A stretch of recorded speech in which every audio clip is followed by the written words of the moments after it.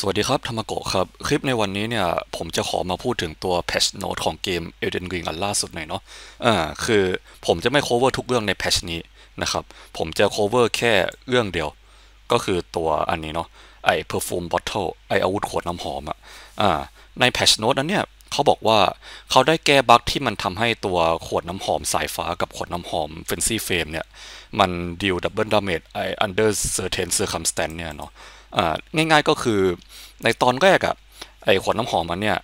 เวลาที่เราปาลงพื้นไปอะเนาะเราจะเห็นว่ามันทำดาเมจก้อนใหญ่มากๆใช่ปะเออก็คือสรุปว่าไอ้นั่นอะมันเป็นบั๊กนะครับที่เราปาลงพื้นแล้วแบบบอสโดนเข้าไปเป็นหมื่นอะเนาะเออนั่นแหละก็โดนแก้ไปแล้วนะครับ เดี๋ยวผมจะให้ดูว่าหลังแก้เนี่ยมันเป็นยังไงเนาะมันจะอ่อนลงขนาดไหนนะครับ ก็มาดูกันที่คลิปนี้เลยครับ อันนี้เนี่ยก็จะเป็นตอนที่ผมกดเริ่มเกมใหม่เนาะ New Game Plus 6 แล้วในตอนเนี้ยก็เข้ามาปั๊บเราก็จะมาเจอบอสตัวนี้ใช่ปะเวลาเราเริ่ม New Game Plus ใหม่ แล้วเนี่ยครับท่าคลาสสิกของคนน้ำหอมนะเข้าเบามากเลยในตอนนี้ในตอนก่อนหน้าเนี่ยก็คือถ้าเกิดว่าปลาลงพื้นแบบเมื่อกี้เนาะมันจะเข้าทีแบบเป็นหมื่นอะเป็นหมื่นหรือว่าโดน3 4มสี่พันแบบนั้นเนาะอย่างน้อยครับแต่เนี่ยมันมันไม่เป็นเหมือนเดิมแล้วปลาแบบตรงๆยังแรงกว่าเนี่ยเนาะ ปลาตรงๆยังเข้าเยอะกว่าครับ ก็นั่นแหละเนาะมันโดนเนิร์ฟหนักมากเลยก็อีกสองสามรอบมันถึงจะตายเนาะแล้วก็เนี่ยครับเข้านิดเดียวเนาะแล้วก็ผมจะโดนฟาดอีกรอบไหมไม่เนาะโอเคอืมนั่นแหละ มันมันเบามากเลยเนาะเดี๋ยวไปดูอีกคลิปหนึ่งที่ผมเอาไปตีกับ Sentinel เนาะไอ้ Tree Sentinel อะ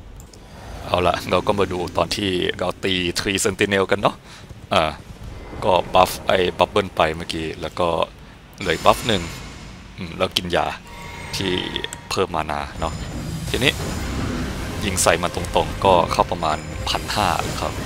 อ่าจริงๆถ้าเข้าถ้าเข้าทุกดอกมันจะแรงกว่านี้เนาะอ่าแล้วก็อันนี้ปาลงพื้นเออเข้าแค่ห้าร้อยเนาะปกติมันจะเท่าไหร่อะเป็นพันอะสามสี่พันอะเนาะตอนนี้ไม่ใช่แล้ว เออมันมันเนิร์ฟจนแบบมันกากไปเลยแหละเออขวดน้ำหอมเนี่ย เพราะงั้นเนี่ย